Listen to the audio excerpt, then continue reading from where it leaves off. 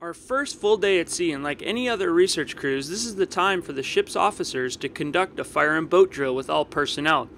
During this drill, scientists are required to put on a survival suit, also known as a Gumby suit. This suit is critical for survival in case of abandoning ship.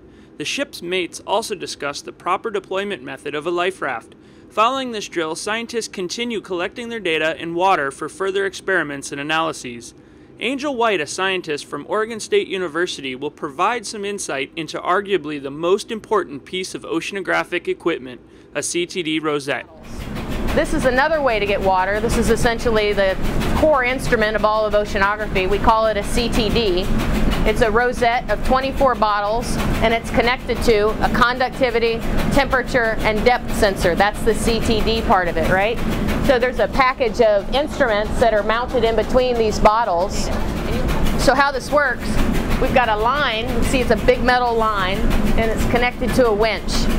It gets picked up, the whole thing gets picked up, dropped overboard, and attached to this line, it's sending data to CT, to uh, essentially to PC monitors inside the lab, where we can look at real-time temperature, real-time depth, real-time fluorescence, so we get phytoplankton biomass, right? All sorts of other properties, scattering, so we get particles. So we're essentially taking the pulse of the ocean as this instrument's dropped down through the water column. When it comes back up, what we do is we attach tubes to this site here and we siphon off the water that's been collected in each of these bottles. So while it's down there, we get to trip bottles at each depth. So we're essentially saying, I want water from five meters, I want water from 10 meters, I want water from a thousand meters, and we can bring that up to the platform of the boat. They're full of water, right? You'll see in just a second, right? That's what's left over.